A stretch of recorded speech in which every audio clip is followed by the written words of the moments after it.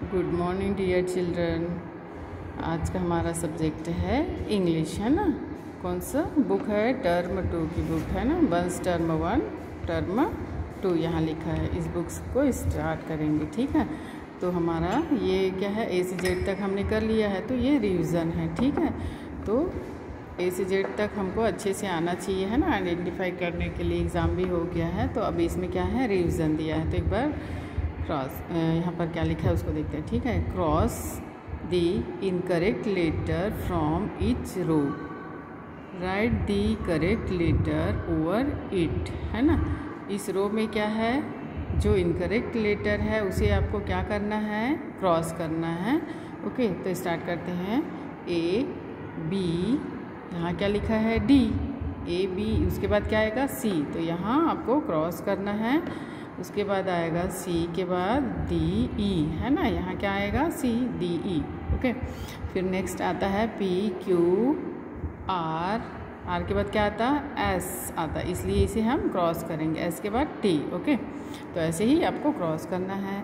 फिर आता है देखो एफ़ जी एच आई आई के बाद क्या आता है? जे और ये क्या है? के लिखा है। तो इसलिए यहाँ हम क्रॉस करेंगे ओके फिर आता है देखिए एल ए एल के बाद क्या आता? है एम आता, है ना? इसलिए हम इसे क्या करेंगे? क्रॉस करेंगे N O P okay L M N O P ऐसे आएगा। इसलिए यहाँ क्रॉस की फिर आता है नेक्स्ट देखिए वी पी एक्स है ना? तो वी के बाद क्या आता है? डब्लू है ना? तो इसलिए इसे हमें क्रॉस करना है और V W X Y Z okay ये पेज नंबर थ्री आपका क्लास वर्क हो गया, है ना? और ये पेज नंबर आपका होमवर्क रहेगा, ये मैचिंग है है ना? ये तो आपका रिवीजन जैसा हो गया है तो मैचिंग तो आप देख के कर लेंगे और यहाँ स्मॉल लेटर लिखना है आपको, है ना? आज हमारा क्या रहेगा? बुक में पेज नंबर फाइव जो रहेगा वो कर्सिव राइटिंग है, इसे हमें लिखना सीखना है ओके तो हम बुक में लिखना सीखेंगे। देखो इसे कैसे लिखना है? ऐसे कर्व करके, ऐसे, फिर ऐसे। ये क्या है? ए ए फॉर क्या होता है? एप्पल ए फॉर क्या होता है? एन ए फॉर एक्स ये क्या है? X A X E X okay इस तरीके से ए लिखना है। ए क्या साउंड करता है? अ, ए. ठीक है? और बी क्या साउंड करता है? ब. बी क्या साउंड करता है? ब.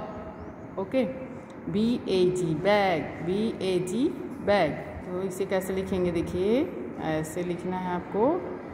B for bag B for bag यहाँ स्मॉल बी भी है, ऐसे लिखना है आपको। स्मॉल बी स्मॉल बी ठीक, फिर क्या आता है? अब दो ही लेटर करते हैं ओके ठीक है। Thank you